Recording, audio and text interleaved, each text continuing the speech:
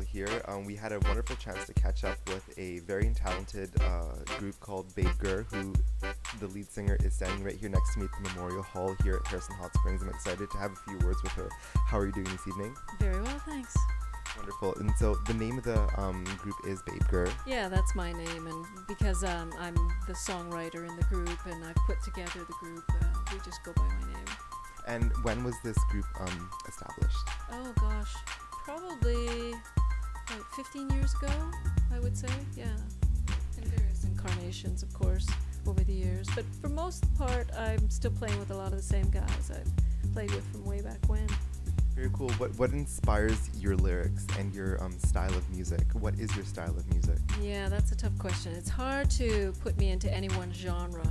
I mean, once upon a time it was easier because I just played roots music, but now I'm blending world rhythms and fusing that into my roots music, and that's really come about from traveling a lot and liking a lot of what I'm hearing around the world, and and I like how music transcends all boundaries and cultures and it brings people together. And so I decided I'm going to start doing that. I'm going to fuse things from all over the world and see how it goes. And so far, it's been fun.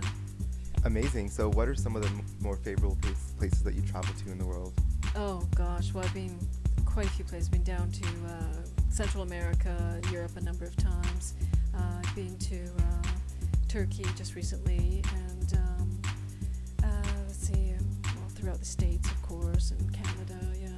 Wonderful. Um, I'm sure, like along your um, endeavors of you know participating in a band and reaching your potential, that you've uh, experienced some sort of setback setbacks. If so, how have you sort of moved forward? What's the sort of train of thought?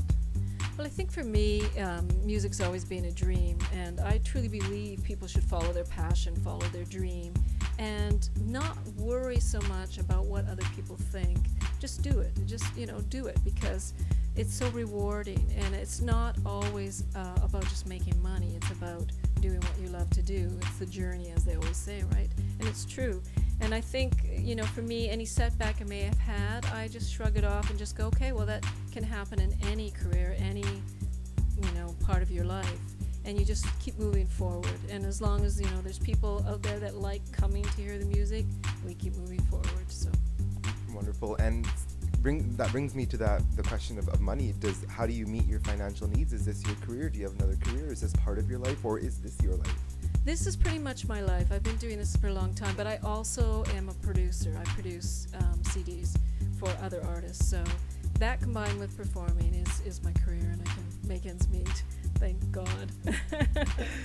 Wonderful. And I'm sure there's a lot of aspiring artists out there, singers, musicians, individuals, youngsters who want to get in, in into bands. What are some positive words of advice that you can provide to them to let them know that they can be, you know, where you are today, performing at a world renowned resort? Right. Well, I think, you know, the main thing is not to get discouraged. And nothing comes easy in the beginning. You have to get over a certain learning curve and not to think that you have to be an expert because you don't. Um, you know, I'm not the best singer, I'm not the best guitar player, I'm not the best songwriter, but maybe what I have to offer touches some people. And um, that's what's important. It, it, first, you have to move yourself. And if you can move yourself, then you're going to move others.